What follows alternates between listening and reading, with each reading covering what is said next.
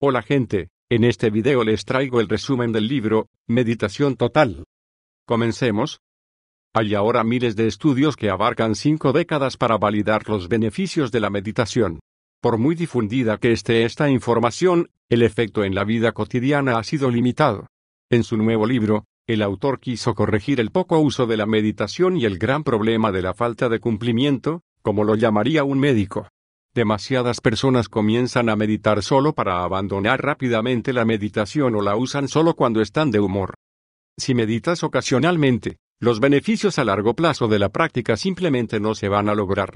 Pero puedes aprovechar la razón más común por la que la gente se toma el tiempo para meditar, que es el deseo de estar más tranquilo y menos estresado. Este impulso, una vez que lo expandes, se convierte en meditación total, una frase que se usa para denotar un nuevo enfoque, en lugar de tomarte 10 o 20 minutos de un día ajetreado para meditar, lo cual muchas personas no logran hacer con regularidad, puedes alcanzar el estado meditativo rápidamente cuando quieras.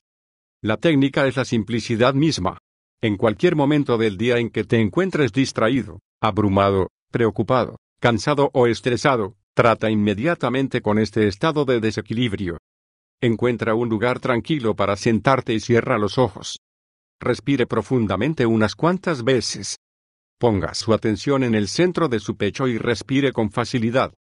Continúe hasta que se sienta tranquilo y centrado. La esencia de la meditación total es la frecuencia y la repetición. Es una técnica que mejora la tendencia de tu mente a volver a un estado de descanso y alerta cuanto más la uses. Un par de minutos una docena de veces al día acostumbran al sistema nervioso a experimentar lo que se siente estar alerta descansado. A su vez, la tendencia a volver a un estado de equilibrio se vuelve más automática.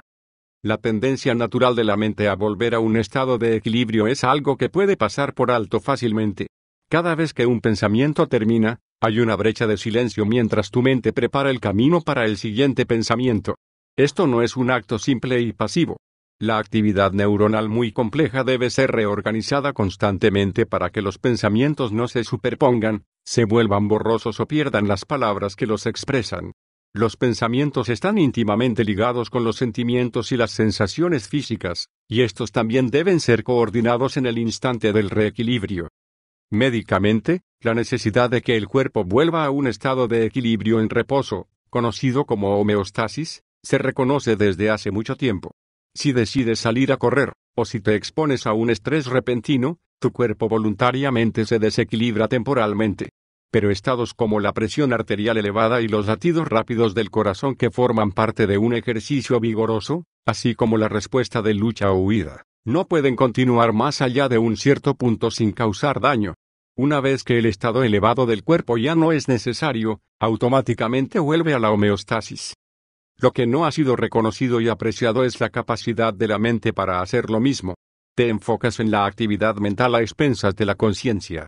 La conciencia es silenciosa e inactiva, pero es la base de cada sensación, imagen, sentimiento y pensamiento en la mente consciente, así como de operaciones mucho más intrincadas en el sistema nervioso autónomo, que se ocupa de todo lo que no requiere un pensamiento consciente.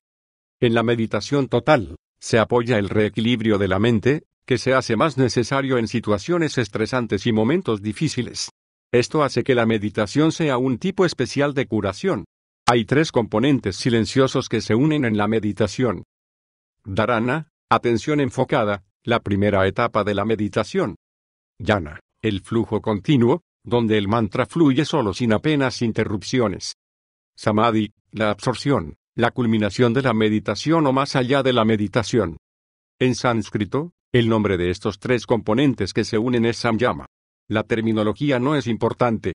Lo que necesitas saber es que el silencio puede ser contactado con el toque de una intención, y una vez que el estado de alerta de descanso se ha experimentado, comienza a profundizarse con cada repetición a lo largo del tiempo.